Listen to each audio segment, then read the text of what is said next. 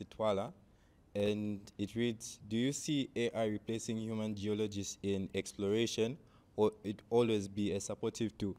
Looking at on your, expla- on your explanation on how AI is making work easier for humans, uh, do you see any, by any chance in the upcoming years on how it might take over the other positions that the other Zambians can also partake in? What will I just want to ask if you can give any assurance to myself and maybe my fellow students that the jobs should be available for us.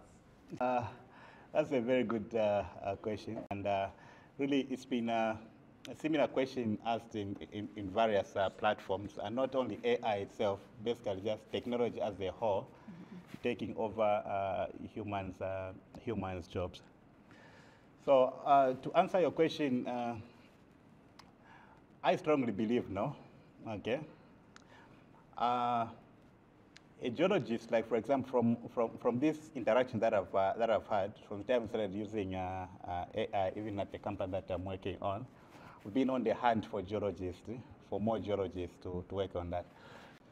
But the geologist is uh, trained, uh, do five years of undergraduate training and even more po- post that, to make interpretations eh, of uh, what that, that data is, okay? Or what is it that we could, uh, uh, uh, uh, so for me, I see it's, it, it's, it's, it's allowing geologists to look at the things that they have really been trained their, mind, their mind to do instead of differentiating what color this is from, from, from, from the other one.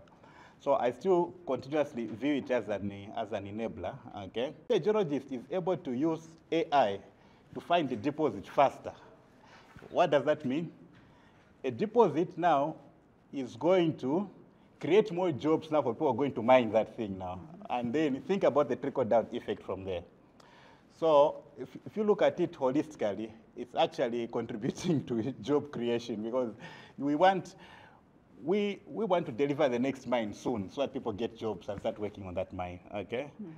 So anything that helps us uh, reach to that point, we should uh, basically embrace it and run towards it. So the end goal is uh, how can we do this faster and more efficiently for the benefit of our country and uh, people get jobs, the government gets its uh, revenue through taxes and uh, people get uh, employed.